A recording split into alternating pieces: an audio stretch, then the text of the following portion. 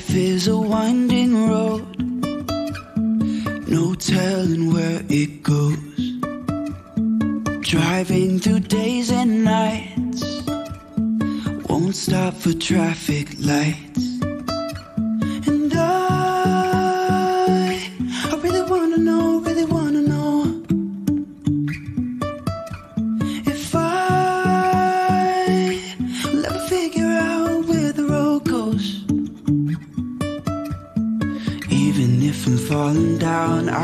Keep on searching for my highs. You can say I lost my mind, I will keep on holding my head high. Even if the sky is falling down.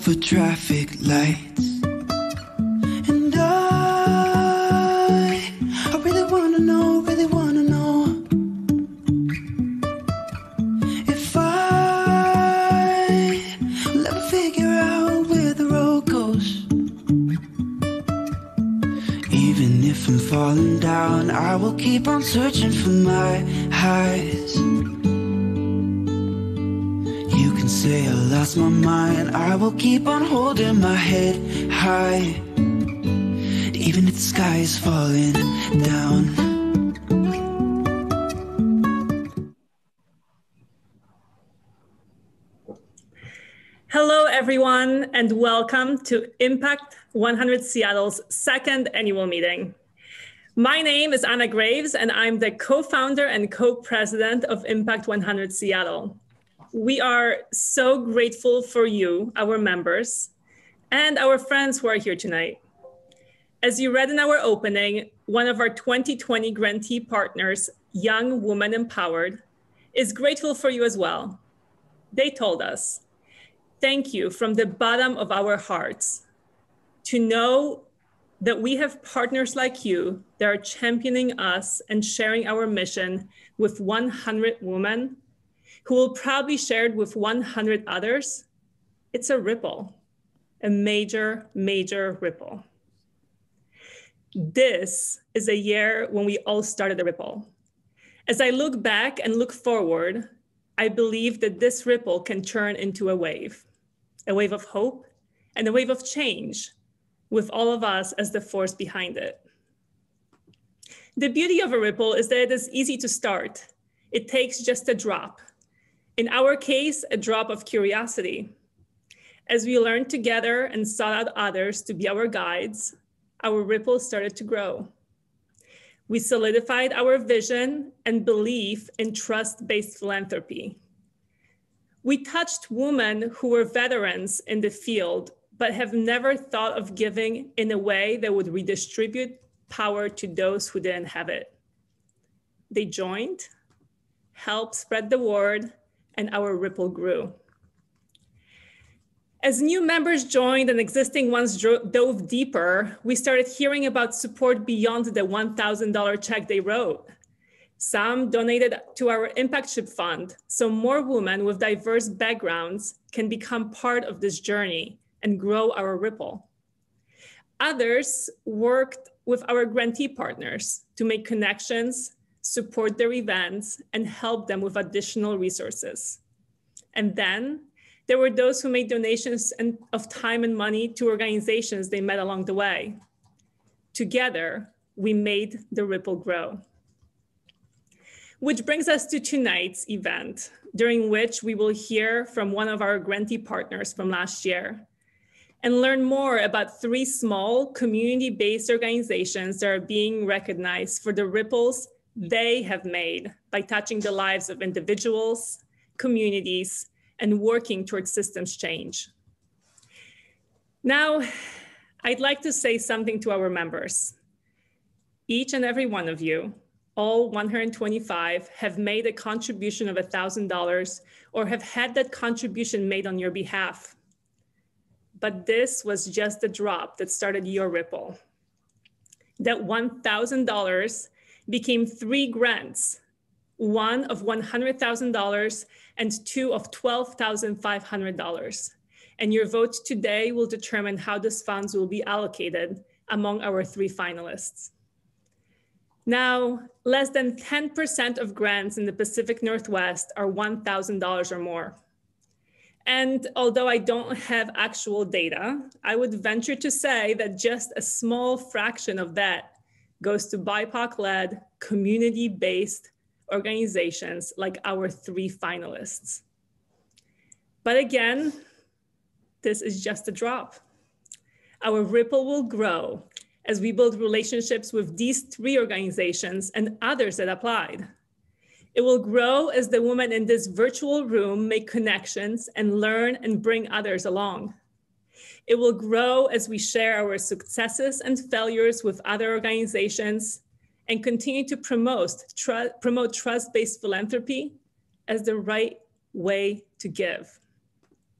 It will grow and eventually turn into a wave, a wave of hope and change with all of us as the force pushing it forward. Thank you with all of our hearts for being a part of this force.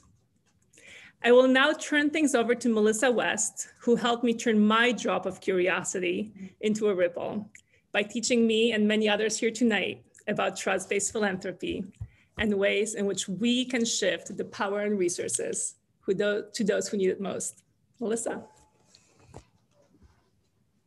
Thank you, Anna. And it's so fun to be here um, with a few of my incredible Seattle um, Impact 100 Seattle friends, um, both in person and virtually. I just, I love this group and Anna and Anne, I can't see you, but I know you're there. I'm grateful to both of you for bringing Impact 100 to Seattle and to your openness to a new way of grant making. Thank you.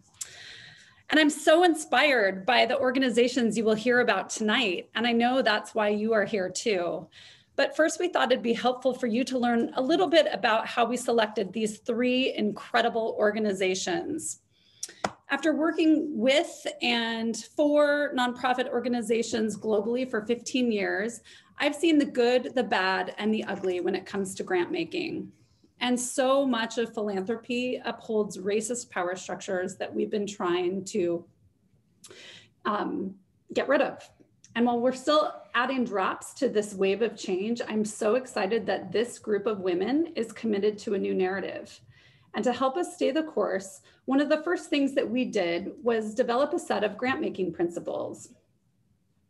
The first is something that Anna just mentioned, and it's trust based philanthropy, which provides us a model to challenge norms in philanthropy, including burdensome grant application processes and the strings that most funders attach to their funding. And I would argue that of those grants that Anna mentioned, the vast majority of those are restricted, which is very difficult when you're a nonprofit and you can't fund your executives or pay for your rent because all of the funding has to go to programs. The second thing that we have built into our principles is the desire to support transformative change. And that's really focusing on the long, windy path to altering systems and addressing the root causes of social issues that are facing people in the Puget Sound region. The third, embrace risk. The field of philanthropy is incredibly risk averse. We strive to reward and encourage new ways of thinking and challenge some of the unhelpful myths about how organizations that are too small or too new or not led by the right person, um, we believe that those people can make big change. Those organizations organizations can make big change, and we want to support them. And the fourth, fourth is listen, learn, and evolve. We are bringing women together and supporting a learning journey as we learn from each other and from all of the organizations with whom we're working. We've made mistakes and we're going to continue to make them. And we hope that all of you will help hold us accountable in that journey. Now that we've covered the principles, very briefly, we'll talk about the process that 23 members of the grant review team helped us to refine and make possible this year. I personally believe that one of the most egregious practices in philanthropy is the 5% payout require, requirement, meaning that the vast majority of funding sits in the bank where it can't be put to work for communities. So we decided to do things differently. And I'll have to tell you that Impact 100 Seattle is crushing it when it comes to getting money out the door quickly. We went from the application deadline of April 4th to um, organizations getting checks in less than 60 days. And just a few notes on our process. Um, one of them is that we had all of the members of the grant review team, and hopefully they're identified by their background so you can see who they all are. But we had them participate in a mandatory bias training to help remind us of all the different types of bias uh, and help us recognize it when it shows up because we know it does. And one of the other things that we have strived to do as the 23 of us met over the course of the last few weeks is really to try to drive toward consensus. And it wasn't easy. This was an incredibly tough task when you have 57 applicants and only three finalists. But we put a lot of hard work into this process and we did deep dives into seven semifinalists to get to the three finalists that you'll meet to today. Um, I know you're all anxious to get there. So I'm going to continue and go to um, just a, a bit about the criteria that we use to identify those three finalists. So we modified our criteria this year, reducing the ceiling on revenue for applicants to $2 million, so smaller organizations than we'd worked with in the past. We also ensured that fiscally sponsored organizations were eligible. These organizations may be too small or too early in their um, work, or they may need to work with another organization to support them and probably don't have their own 501c3 status. That was actually a mistake we made last year that we corrected for this year. That was one of our principles, the, the learning and evolving. But to get to three finalists from 57 applicants, we simplified what we were looking for to three core things. And we wrestled with how each applicant measured up. This was not scientific. There were many organizations that were incredibly worthy of our resources. In fact, all of them are. And we hope that you will support many that you will not see tonight, and we'll be sharing ways to do that later. But in order to narrow down to these three incredible organizations, we were looking at one, to what extent they were community centered. To us, that means that they raise issues and develop strategies to address those issues from lived experience. We identified organization organizations whose staff, leadership, board, volunteers reflect and or maintain close proximity to the communities they serve, embracing their voices and their experiences to provide input into their programs and services. The second thing we looked at was identifying organizations working toward transformative change. Well, all the organizations are transforming lives, families, we sought organizations who were addressing the root cause of an issue. You can see this graphic that I like that talks about the, the roots instead of just the leaves of the tree. We want to interrupt the status quo. And we believe that Impact 100 Seattle is about interrupting the status quo. So sometimes that means attempting to change power or structures, policy or legislation. And it always includes collaboration with others. And finally, we looked at how organizations are serving their underserved populations. So we were trying to determine that the organizations had a very clear sense of the population they were serving and that they aligned their programs to reduce the inequities among those populations. Each of our three finalists excelled in all of these. And now I would like to introduce Jennifer Larson, Impact 100 Seattle vice president, a philanthropist, a wonder mom, and one of the kindest people I've ever met. She has provided a steady hand in leading the grant review team, and she'll be sharing more about the three finalists.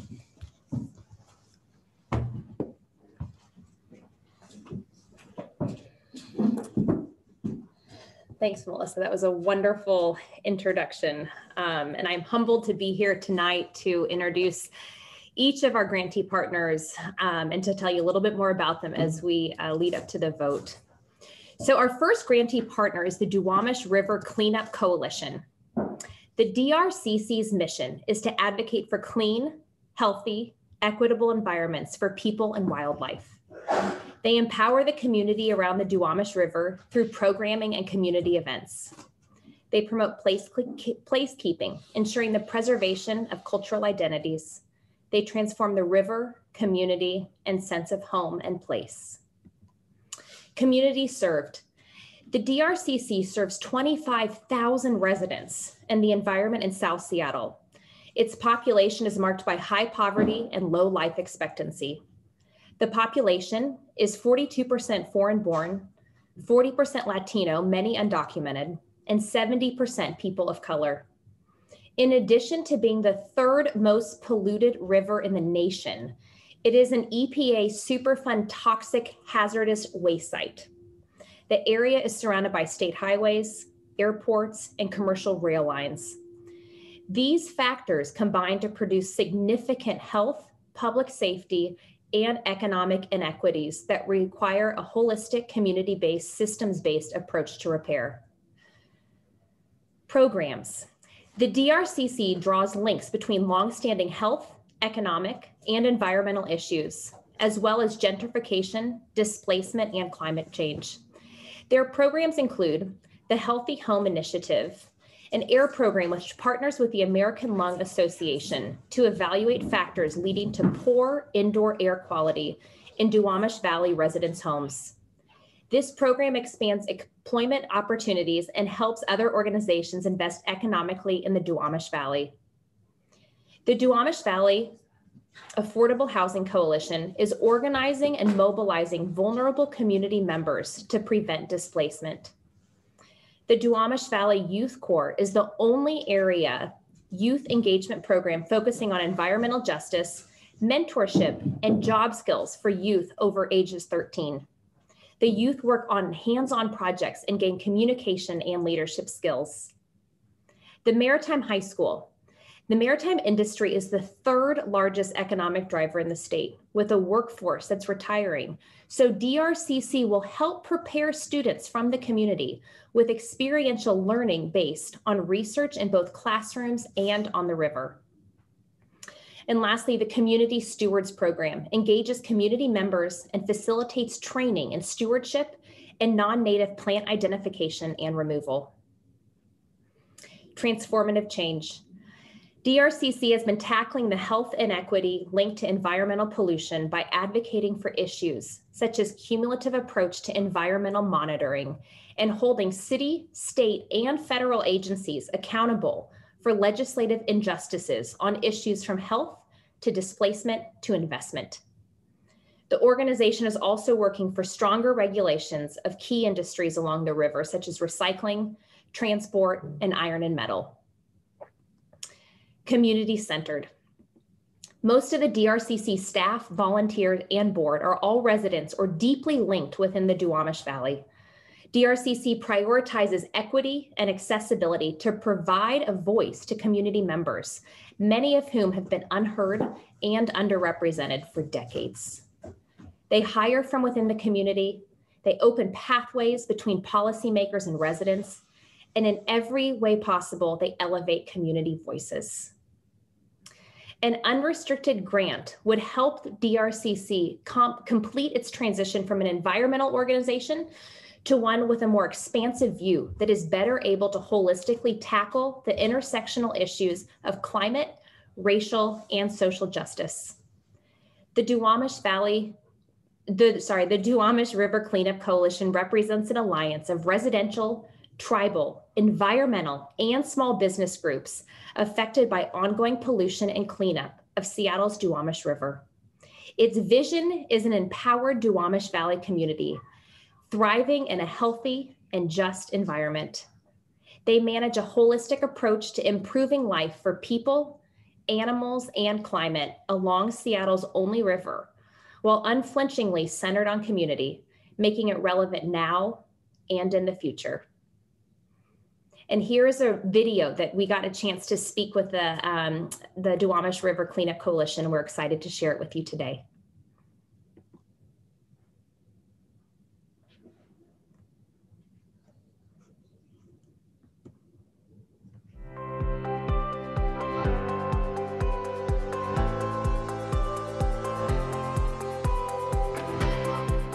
My name is Paulina Lopez. The Duwamish River Cleanup Coalition was created when the river was declared a Superfund site. Since then, we have been operating in a way that we wanted to make sure we center the voices of the people who are impacted by the Duwamish River pollution, making sure they are the ones designing the future of the river, giving empowerment to the youth, eliminating air pollution, as well as um, addressing better uh, green spaces, really. A story that always comes to mind was first the creation of our Duwamish Valley Youth Corps program which was in response to the community coming to us saying, there is a big amount of youth in the neighborhood and there isn't a lot of opportunities for them. We also had a history of gang involvement in the neighborhood, so we needed to address that as an organization. And, and since then, we have been able to address this priority of giving youth positive engagement with the community, creating this ownership with themselves. We have been working very hard and with community for the past decade, giving the power to the people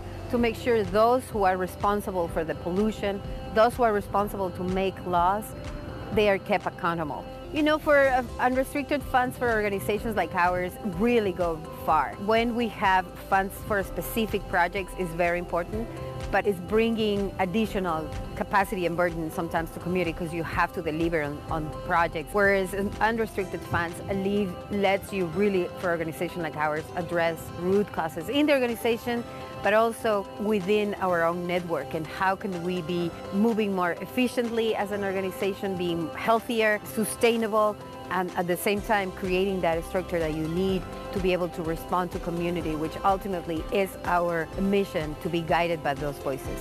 We want to be led by youth voices, by, by the, the power and by um, our youth uh, participation in our organization. We are in the middle of designing how could this look like and we have called already some of our youth participants. We will be taking their leadership and their wisdom to be moving forward our strategic planning and our climate platform because youth need to be leading the way on climate.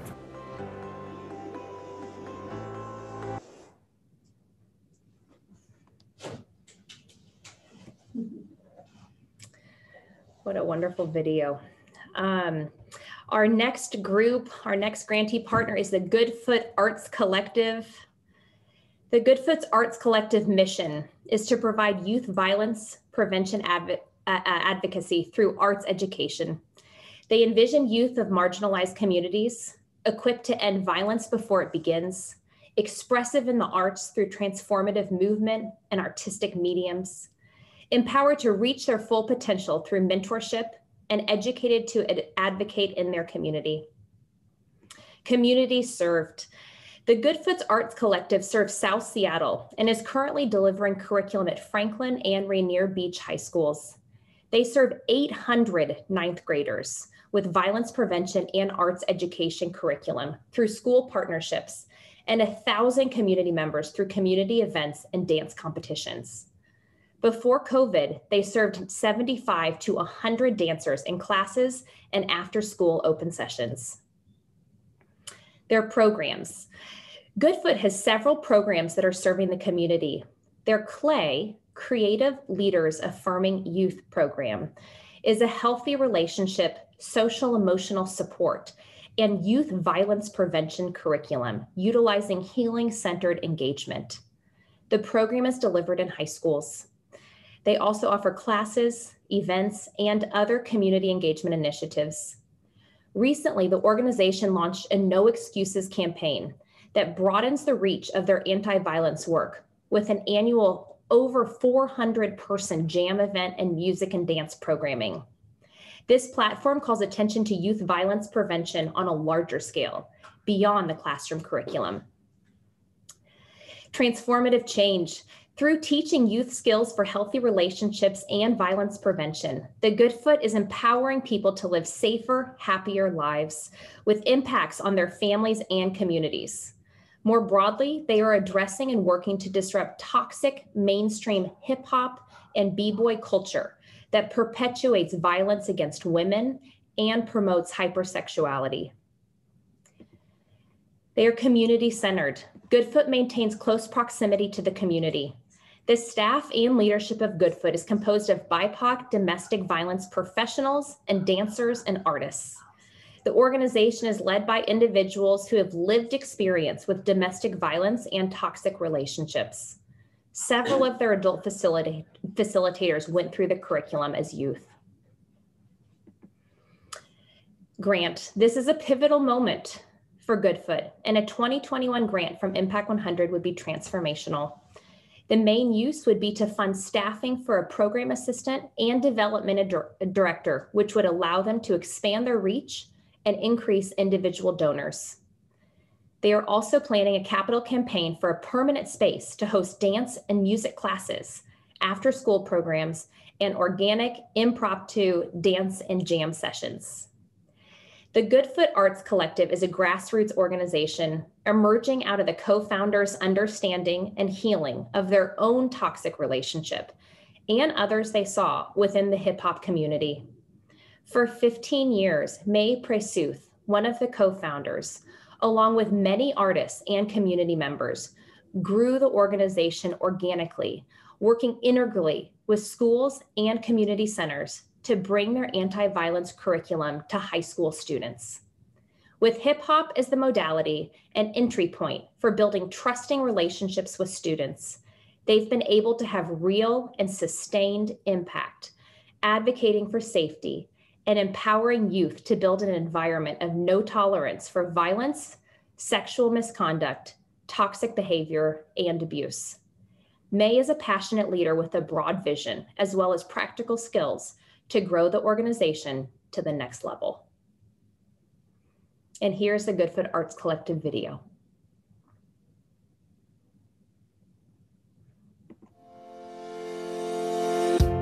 My name is May Presuth. I'm the executive director and co-founder of the Goodfoot Arts Collective in South Seattle. The Goodfoot Arts Collective mission is youth violence prevention through arts education. Um, and our vision is to see youth of color equipped to end violence before it begins, um, expressive in the arts through transformative movement and artistic mediums, empowered um, to reach their full potential through mentorship, um, and educated to advocate in their community. I am that young woman who felt misplaced in her own community as a woman of color, as an artist, as a dancer in the hip hop community, and unpacking my own misogynistic culture and the views and the sexual assault and trauma that I face in intimate partner violence. I am a wounded healer. And the only reason why we're doing so much of the work that we do is because we have gone through it. Hi, my name is Kansali and I'm one of the Goodfoot interns. I remember being so lost. I had these feelings and emotions I did not understand. At the time, I didn't understand that I was being abused. At eight years old, you shouldn't know what abuse is. Your childhood should be filled with love and enjoyment, but too often that is not the case. Too many times I've sat on the kitchen floor holding a knife to my throat or pills in my hands, wanting to give up.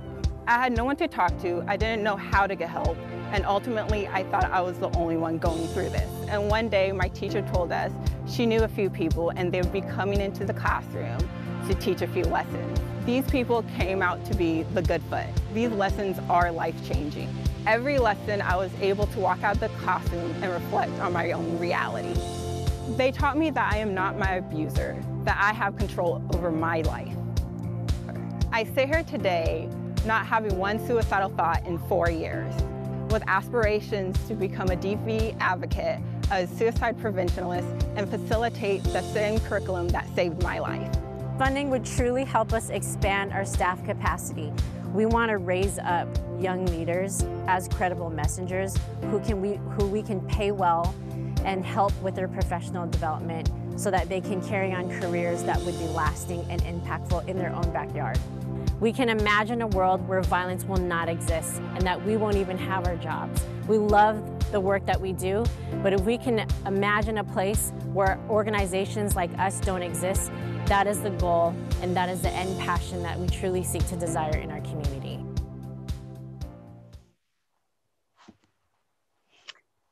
And our third grantee partner is Feast.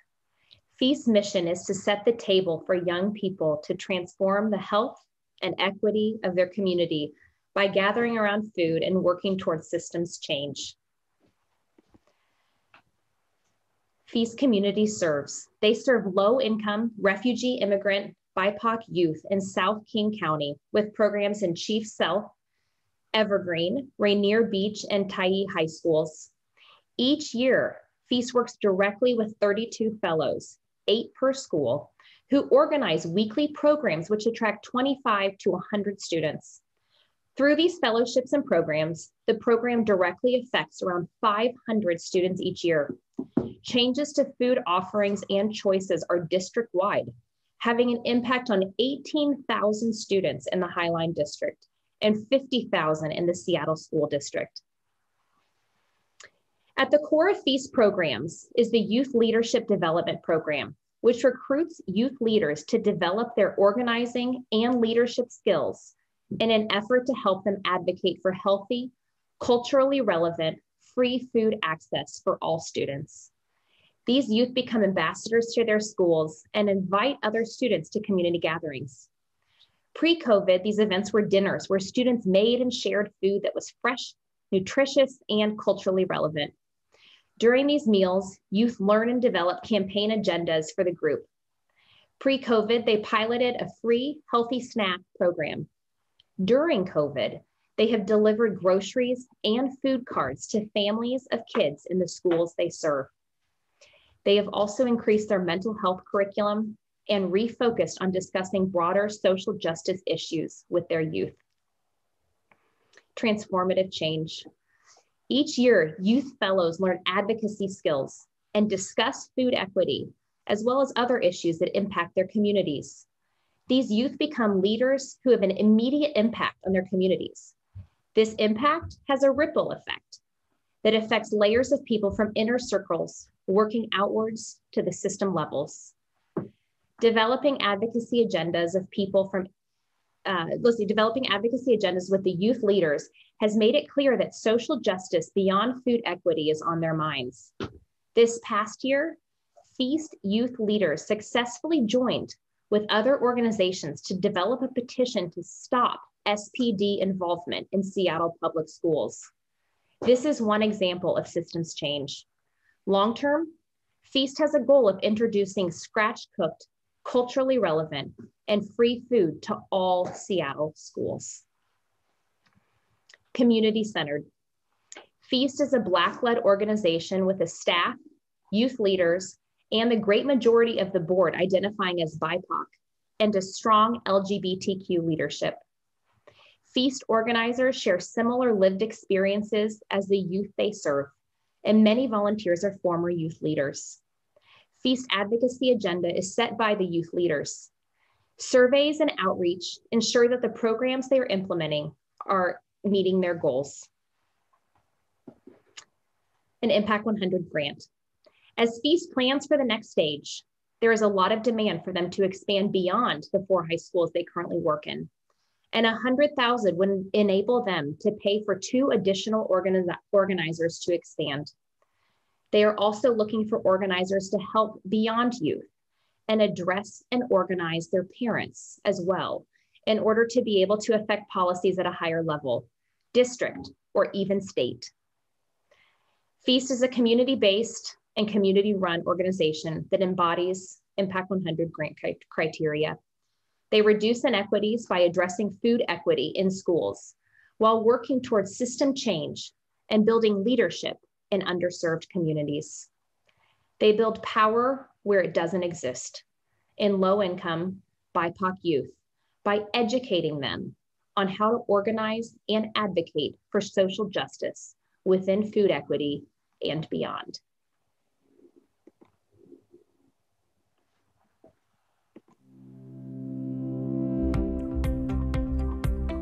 Hi, I'm Jamae Marsh, and I'm the Executive Director of FEAST, and I use they, them pronouns. FEAST stands for Food Empowerment, Education, and Sustainability Team. We build power with low-income youth of color and immigrant and refugee youth.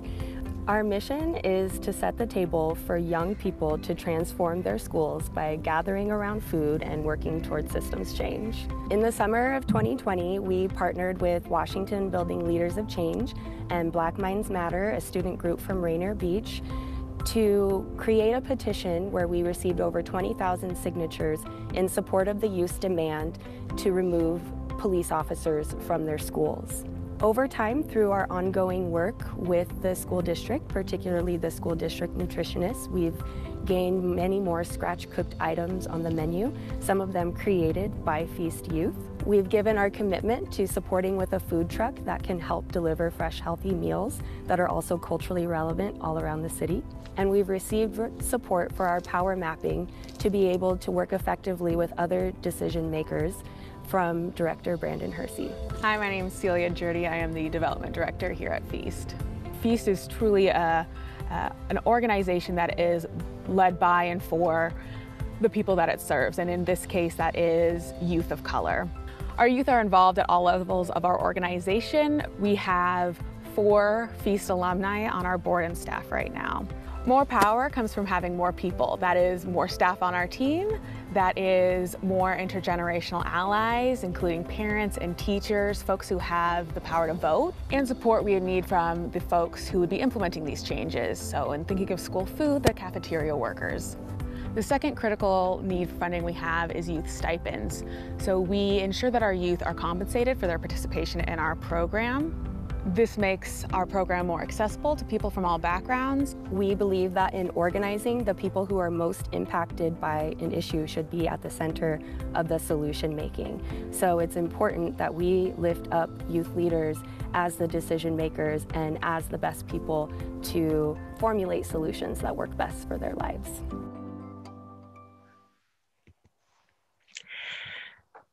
Wow. Well, thank you, Jennifer and Melissa. And thank you to the three finalists for the work that they do every day. Um, I was recently talking to a friend of mine and a member named Lisa. Um, she told me she was so inspired to learn about the transformational work done by our finalists. And she was really stunned that she knew nothing about them. She said, uh, they are small, so they fly under the radar but this, this is the work we should be supporting. Lisa, I couldn't agree more, and I hope you're even more inspired now after hearing from them. We're now going to ask you to open up the voting email you received with your unique code and link to vote. The ballot will ask you to tell us which of these three organizations you would like to support with a $100,000 unrestricted grant. The other finalists will receive a meaningful unrestricted, unrestricted grant of $12,500. We know this is not an easy choice, and we look forward to getting to know all three of these organizations, hoping that we can spread the word about them, support them with time, connections, and in turn, help grow the ripple they are creating in their communities. We will give everyone around three minutes to place their votes, and we'll run a video with some member reflections while you vote. If you are not finished with the vote by the time the video is over, please send a note to myself um, in the chat. We want to make sure that everyone has a chance to make their vote.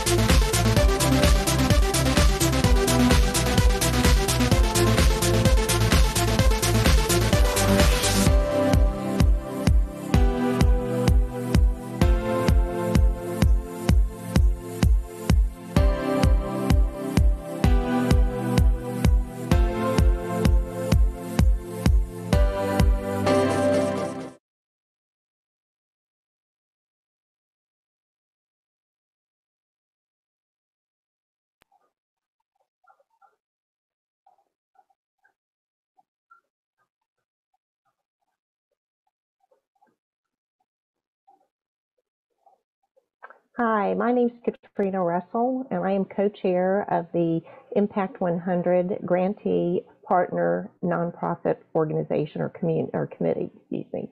Um, I am so pleased to share to the stage tonight uh, with one of our Grantee Partner Award winners last year, uh, Community Passageways. Tonight we have Marianne Wong, the Director of Development, and Dominique Davis, the founder, president, and CEO of Community Passageways.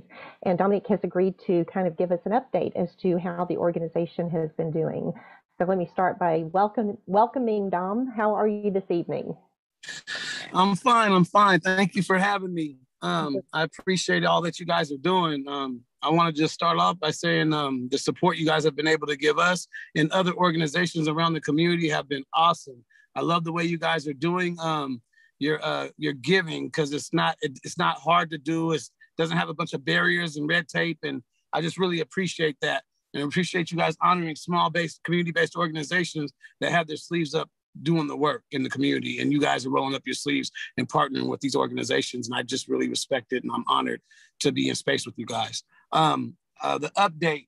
Um, i'm going to do this in about eight minutes. I'm going to talk fast so put on your seatbelt. I'm going to try to put up pack a lot in eight minutes. Um, community passageways we're a felony diversion program. Um, gang prevention intervention um, school programming culturally relevant school programming and curriculum um, um, uh, uh, reentry, outreach, uh, rental assistance, uh, getting people uh, all the basic needs met. It's just on and on and on. We job placement, housing, we do everything. So there's a whole lot of things we do. But I'm gonna give you a couple of stories real quick of, of what we've been doing this past year. Uh, one of the things we did was we were able to um, meet some needs in the community to address gun violence. Gun violence has skyrocketed in our community, and Community Passageway says we want to do something about it. And so what we did was we, we get, uh, partnered with a couple of other organizations, and we created these safety hubs, community safety hubs, in each hotspot around the city of Seattle. And we put one in West Seattle, one in the Central District, one in South Seattle, and we have these hotspots where we and we hired teams of people and took them through training, intense training, and we placed them in these different hubs to to work in these areas to try to um, be de-escalators and react to situations at the beginning, not react at the end. So when I say react at the beginning, that means go out and tap the shoulders of these young people that are in the community, that are in these gangs, involved in these shootings, that are carrying these guns, because the people that we hired are the people that were connected to these communities. They know the young people that are doing the shootings. A lot of them are OGs that, that came out of the gangs. A lot of them are, some of them are even young guys that say, I want to get out and, and we gave them a way out by giving them a good paying job, a healthcare package, the training they need, the resources they need to go tap their homies and the people they were in the streets with and say, man, I got something for you. I got a job for you. I get you housing. I get you back in school. We can do whatever we need to do for you. So we, we were able to launch that. And when we launched it, it was a, it's so far we've been, it's been pretty powerful. It's been pretty big. Um, it's been something to, to the point where um, I'm really proud of it because not only is it helping our community, but it's also helping the people that do the work in the community to, to go down the right road, stay on the right track, and they see themselves in a positive light, being those heroes in the community now instead of being a detriment in the community, somebody that's out helping. And so that's one of the things I'm, I'm, I'm proud of because it's part of our expansion and our growth. This picture behind me is our deep dive program. Our deep dive program is something that we uh, started a year ago, a little bit, about a year and a half ago. And a deep dive program is to go after the highest um, I, will say that the most volatile young people in the community that are um, rated to be able to be uh, in a uh, in a percentage of a percentile to shoot or be shot in a short period of time. 12 to 18 months is what they say. And they're on a, a lot of these kids were on a list for the prosecuting attorney's office. And, and the algorithm of their shots fired program shows these young people's names to be um, in a position to be shot or shoot somebody in a short period of time. So I said, well, I can't let you guys just have this list and sit back and wait for somebody to get shot or shoot somebody or try to build a case on them. Give me the list and I'm gonna get my teams, I'm gonna hire people to go out and we're gonna go find them. We want their latest address and their latest contact numbers. And most of my team are people from the community anyway. We knew most of the names anyway. We knew how to find most of them anyway. And some names that should have been on that list weren't on that list. So we went out and got them too. and we were able to pull them into the deep dive program. This is the first cohort that you're looking at. Out of 25 or so young people, we've gotten 16 of them full-time jobs. We've gotten about eight to 12 of them, uh, uh, maybe even 13 at this point, um, uh, in their own apartments with jobs. We've been able to get three of them to graduate high school on time. One of them just graduated up this past weekend, and we're and they're on their way to uh, college soon. You know, they're on their way to college. Um, where I'm at right now with the deep dive program is we just lost one of the young men in this picture.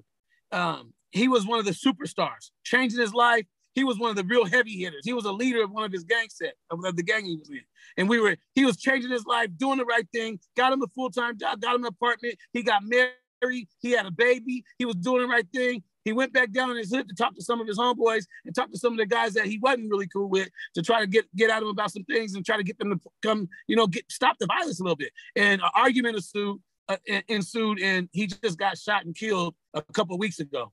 And so we lost him. And I was just getting ready to hire him full time on the community passageways. But what's so crazy about it is three of the people in this picture that were supposed to be high risk, high level, you know, in the gangs, I hired him. I got one a full-time job at another place, and the other two I hired. Like these guys are doing great work. Now they're in the community doing the work that we pulled them in to do with them. It's, it's amazing to see what you can do when you tap into the potentials of these young people. They're not all gang members. They're not all throwaways. They're not all people we shake their heads at and say that they're bad. No, you give them an opportunity, their brilliance will shine.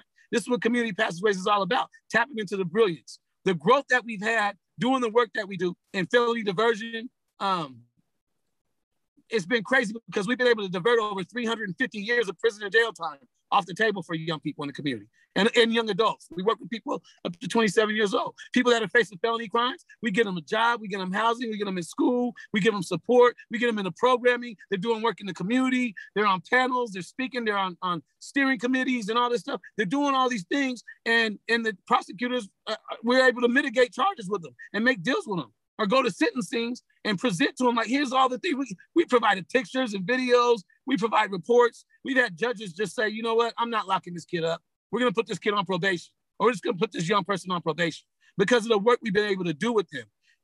We've been very successful for a small organization, but our small organization has expanded and started growing.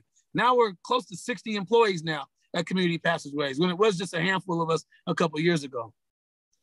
Now I, I am I'm I, am in a space where I can say um, that the future looks very bright for community passageways because I see us as being an alternative. No, no, no, I take that back. No longer being an alternative to the criminal justice system, I, or, or even gang intervention or prevention. I see us being the go-to. I see judges, prosecutors looking at us and saying, instead of locking this person up, let's give them an opportunity to go work in the community with this community-based organization. Let's give them an opportunity to get a job and get housing and get in school and get, have mentorship and go through programming and, and develop a different way of thinking. All they need is opportunity. They see people that look like them, that been down the same roads they've been, and they see us being able to change our lives and then be an example for them and have the resources to change their lives. And that's what I see us being. You guys have been a huge impact on us. impact. See how I did that? You guys are a huge, you guys have been able to be a huge impact on us because the support that you give us, the support that you guys have been able, not only is it inspiring and inspirational for me as the CEO and founder of the organization to have people support the work we do, because a lot of the work we do go, stays under the shadows, or else it comes and says, hey, uh, you guys are out here in, in the middle of the streets and two people just died the other day. Well, you know, we can't stop everything, but we, but you can't count the stuff we have been able to stop, right? There's no, you can't keep data on what didn't happen, right? And when you have hundreds of young people that been in gangs and in the streets or was failing out of school and stuff, and they're saying, thank you for saving my life. I know I'd be in prison and jail right now. They call us big bro. They call us uncle. We're at their kids' birthday parties and at their their their moms' birthday parties and at the barbecues at their houses and and we're at the we're at baby showers. I'm tired of going to baby showers. And you know how many graduations I've had to go to in the last few weeks? I'm tired of them. But we but we're part of the family. It's it's incredible. We we created a new village, and it's our village, and and, we, and it takes a village to raise these young people, and we've created that for these young people. So, the money that you guys gave us went to really good use because we were able to supply basic needs, support these young people, put stipends in their pockets, put food in their mouths, um, get them gas, get them transportation, catch Ubers to the to different things need, get job close for job interviews. I can just go down the list. I'm gonna wrap up by saying thank you. Thank you for your support. We need more support because we're growing. So I, I hope you guys are ready to support us even more because the bigger we get, the more support we're gonna get, the more lives we can change, and the more we're gonna need you guys to have our backs. So I appreciate all you guys. Thank you. Oh, Dom, thank you so much. You have been an incredible partner. You've shared your time, which we know you are incredibly busy with all the work that you do, but several times throughout the year, you've participated in these kinds of events with our membership. And the work you do is incredibly awesome and just so inspiring. So thank you, thank you, and please keep it up.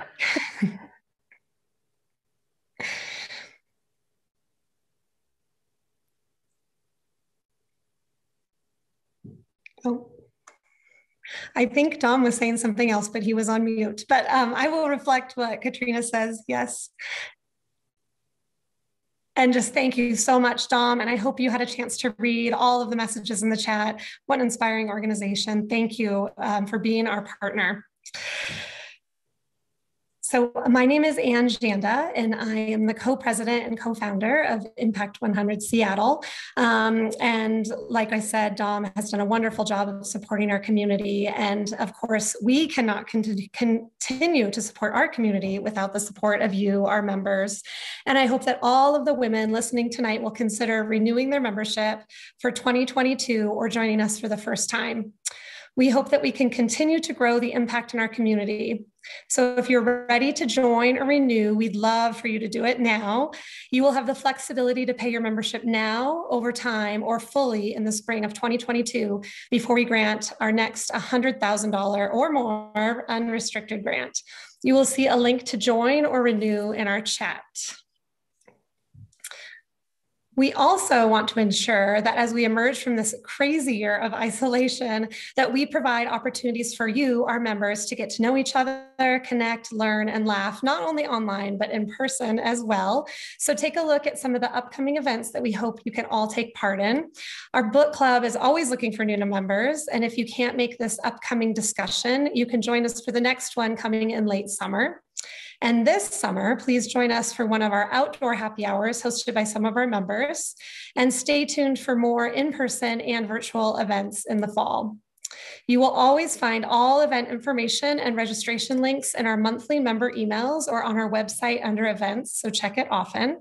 And if you want to get more involved with an Impact 100 committee, because as you know, we're 100% volunteer run, um, simply message me and I can connect you to the right people and find something that you are passionate about doing for our organization.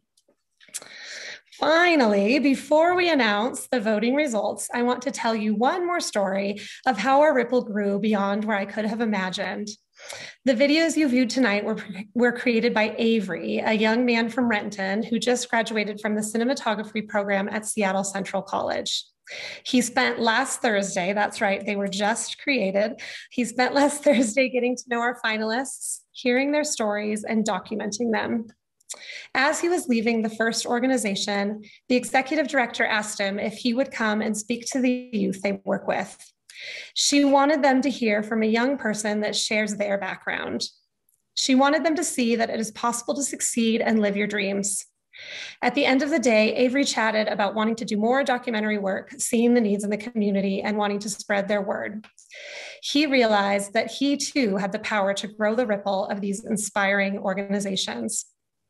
So with that, I will hand it back over to the team at Honest. Thank you, Anne. Um, and thank you everyone for being here today. Thank you, Dom. Um, you're always inspiring and it is just uh, so wonderful to be here. Um, I think that we've probably held the suspense for long enough. Um, I do want to say that if you were anything like me, um, you had a really hard time voting. I think that um, it is. It is a testament to really the process and the people that volunteered to be on the grant review committee, just how amazing these three organizations were um, and are. And the work that they're doing, we know that we want to support all three of them um, and really the five from last year as well. So we have a growing number of organizations that we want to support beyond the check um, as well as with a check. And so now um, I'd like to announce um, that the recipient of our $100,000 unrestricted grant is the Duwamish River uh, Coalition. Yay! um, we are also extremely excited um, to provide a $12,500 grant to Feast and the Good Food Arts Collective. Uh, we will call all three organizations tomorrow morning to present them with these grants, and we will record their reactions to share with all of you, as I'm sure you would love to see um, their excitement. so now um, we are pretty much running right on time. Um, I want to thank you for being here with us tonight. Um, and we'd like to make a toast um, to our members, our grantee partners, and our friends. So as we gather all of all of us, oh, there we go. Oh, you can't even see us. Hold on. okay, let's stop share. Hold on. For the uh, and let's do um, no virtual background. Here we go. Okay, now you can see us all. There we go. So here is to the many ripples we've made tonight. May they keep growing and eventually turn into giant waves that will flood our community with hope and positive change. Cheers. Cheers. Cheers. Here, here. Feel free to unmute yourself and cheers to everyone. Cheers. Thank you, everyone. Well cheers. Great meeting. Thank you. And now uh, we will we will offer everyone breakout rooms if you want to stick around and chat a little bit.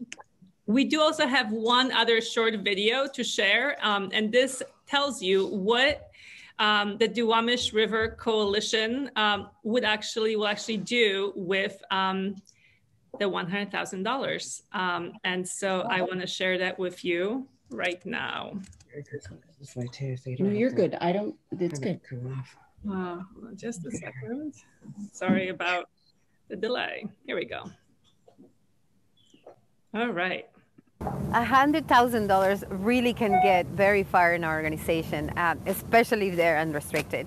Um, as I mentioned uh, before, you know, like bringing that strategic planning into our organization, it's going to be a big difference in how we are addressing, one, the community priorities, but also how are we addressing vitality in the organization.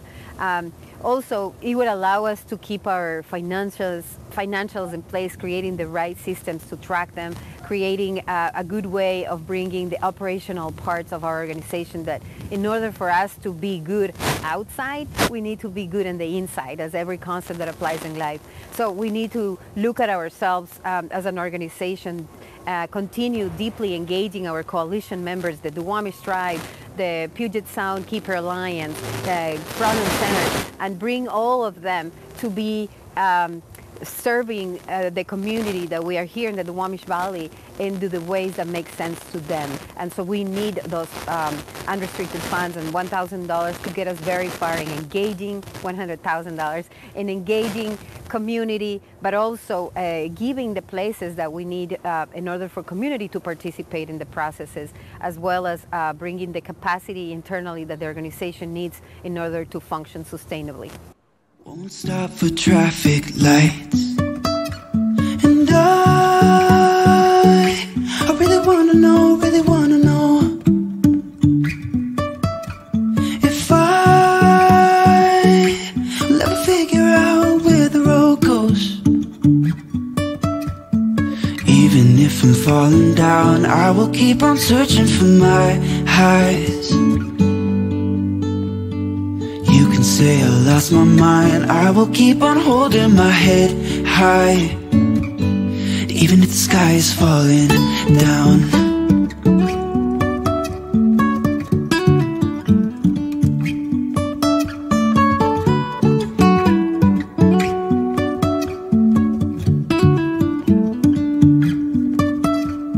Jumping from cliffs so high trusting our wings to fly.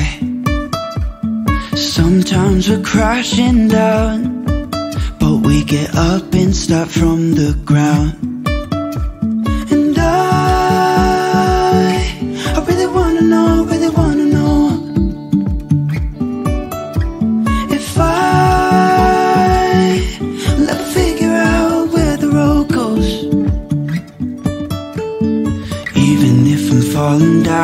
Will keep on searching for my highs.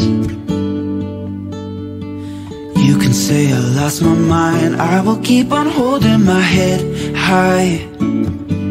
Even if the sky is falling down, even if the sky is falling down, the sky is falling